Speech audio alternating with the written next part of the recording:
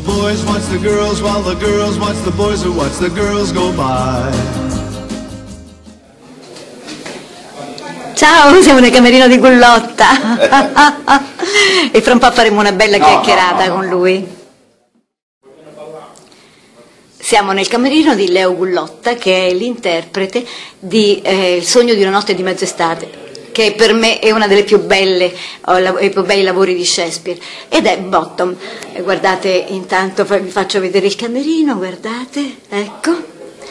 Ehm, Un camerino ricco, un camerino colorato. ma grande Un soprattutto. mo- camerino gioioso, beh questo è un camerino storico del- dello storico Teatro Eliseo di Roma, dove in questo camerino la storia del teatro, da Visconti, Ricci, eh, De Filippo, Stoppa, Morelli, eh, il teatro italiano è passato tutto da qui e questo eh, diciamo, è il primo camerino dei camerini. Eh, infatti- ne sono onorato. Infatti, e tu questo periodo bellissimo con i grandi registi l'hai vissuto tutto.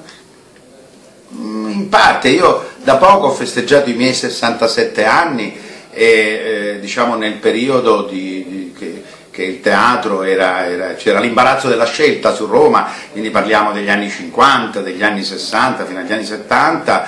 Ehm, personalmente non ho avuto questo piacere, ero a Catania, ero giovinetto a Catania, eh, però molti di questi spettacoli in tournée li ho visti.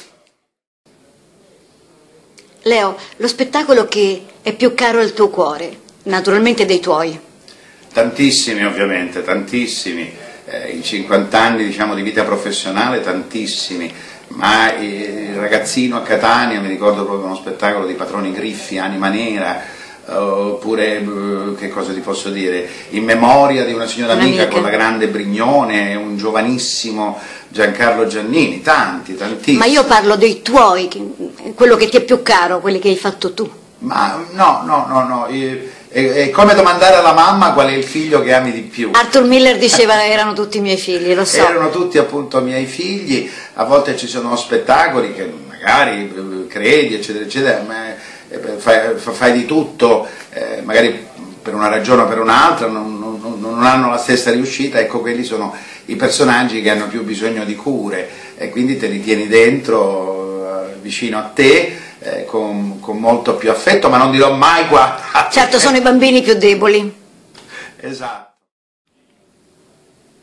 Leo, tu hai fatto di tutto. Allora, hai iniziato la radio con me, ti ricordi? Eri affidato alle mie cure. E poi televisione, e poi teatro, e poi cinema. E volevo chiederti, sei tentato dalla regia? Perché non ti sei mai eh, espresso con la regia? Guarda, io a stento e a volte non mi riesce bene, eh, diciamo, eh, faccio di tutto per fare questo, questo mestiere così come mi hanno insegnato, con disciplina, umiltà, eh, preparazione, eh, e questo di questi tempi si, si vede molto poco, per carità ci sono mh, tantissimi colleghi miei bravissimi, straordinari, ma è proprio il periodo eh, che, che la linea politica italiana insomma, ha abbassato tutto molto. No, la regia no, la regia no, ognuno deve fare il proprio mestiere, questo nostro paese così meraviglioso, tutti sanno fare tutto, io a stento appunto so fare solo questo, eh, mi, definisco un, un buon artigiano, eh, eh, no, ognuno con il suo, E Dio per tutti. eh, esatto. Questo spettacolo, questo spettacolo è alla regia di Fabio Grossi, Ehm, è un binomio che avete formato ormai da un po' di tempo e siete stati campioni di incasso qui al Teatro Eliseo, avete avuto veramente il maggior successo ultimi, nei lavori degli ultimi anni. Ma sai, negli ultimi anni, sempre prodotti dal Teatro Eliseo di Roma, eh, un- due Pirandello che hanno girato per quattro anni in tournée, oltre Roma, abbiamo fatto un altro Shakespeare, Le Allegre Comari di Windsor, eh, altri due anni, quindi in sei anni, eh, spettacoli eh, diciamo che hanno incassato tantissimo, ehm, questo per dare la risposta a quel eh, ministro, sì, penso di Sì, sì, a quel sì. politico, Sì. politico sì, Sì. forse penso di sì, che ha detto che con la cultura non si mangia. La cultura è importante per un paese, è la formazione, è la chiave, è la storia. È il tessuto connettivo. Ed è un'industria, eh, soltanto qua da noi ancora questo non lo vogliono vedere. Eh, quindi bugie su bugie su bugie. Ehm, no, no, no, non è così. Eh, spettacoli, eh, abbiamo fatto di tutto anche perché dati, oltre professionalmente, con grande coscienza e grande onestà, e di questo ne siamo perfettamente contenti. Leo, nella tua lunga carriera hai dei rimpianti? No, assolutamente, né prima né dopo, né um, quei periodi che si dice no, la fame, quelle cose lì, la gavetta, l'ho fatta, ma ricordo ogni momento con grande gioia, con grande eh, partecipazione, ho dei bellissimi ricordi, eh, col poco, col tanto, eh, con, eh, sono contento, non, non, non, mi devo rimproverare nulla, in coscienza, eh, sto con i piedi per terra, eh, guardo la vita, certo, dati i tempi pesantissimi, tagli e quant'altro, in prima linea con la, la, la, chiave di voler offrire mh, mm, spettacoli naturalmente gestiti come regista da Fabio Grossi e condividendo, eh, pensando sempre al pubblico, non bisogna togliere nulla al pubblico, anzi bisogna ridare spettacolo, eh, perché ovviamente con i tagli molte cose, molte compagnie hanno dovuto chiudere, colleghi, insomma mancanza di lavoro,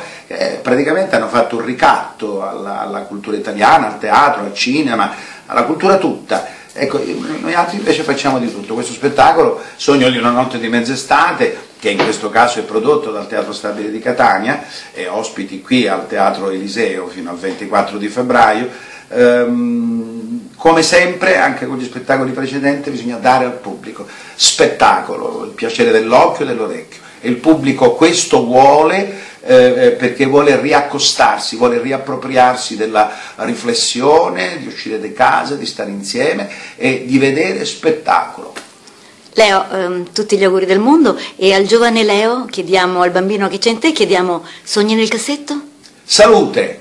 Eh, questo è un mestiere dove devi conservare la salute, che fino adesso la conserviamo meravigliosamente, fino ai 67, speriamo che si conservi così, ma il bambino che c'è in me, come in tutti noi, io non lo metto mai da parte. Grazie Leo. Siamo al Teatro Eliseo, è appena finito lo spettacolo che abbiamo visto, meraviglioso, Sogno di una notte di mezz'estate, e questo è il bravissimo regista Fabio Grossi. E allora, che cosa ci è voluto per mettere su in palcoscenico uno spettacolo così bello? In periodi come questi di crisi nel teatro italiano e in tutta la società italiana tanta passione, tanta passione da parte mia ma da parte della produzione e da parte degli attori. Beh, guardi, eh, che cos'è che ehm, le ha fatto che cosa è stato più difficile in una realizzazione come questa, dove tutto è perfetto, dove una macchina perfetta, dove tutti quanti recitano meravigliosamente, dove non c'è un attimo di pausa e, una, e uno sbaglio? La ringrazio, lei è molto gentile prima di tutto. Eh, che cosa è servito? È servito seguire eh, la scrittura del bardo. Shakespeare sapeva scrivere per il teatro e ancora oggi è un evergreen, questo è il mio modesto punto di vista. E poi metterlo in scena cercando di filtrare il tutto con la propria esperienza, la propria, le proprie sensazioni, le proprie emozioni. E così ho, sono riuscito a, gestire 23 persone in scena in una scena così grande con questo, questi costumi così curati di Luigi Perego. Con un trionfo di colori incredibile. La ringrazio, trionfo di colori incredibile, molto bello, ma anche un trionfo di note con il maestro Mazzocchetti che ci ha accompagnato per questo spettacolo raccontando e tirando fuori veramente tante sensazioni che io gli suggerivo nei miei racconti nella preparazione dello spettacolo. Grazie Fabio Grossi Grazie e tutti gli auguri del mondo per spettacoli belli come questo. Grazie mille e tanta salute a voi.